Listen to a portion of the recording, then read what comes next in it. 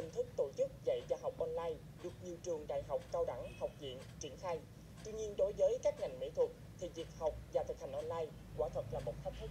Thế nhưng các bạn sinh viên năm 2 ngành thiết kế đồ họa Đại học Văn Lang đã khiến nhiều người không khỏi bất ngờ với thành quả 200 tác phẩm tranh khắc gỗ đạt chất lượng về học thuật.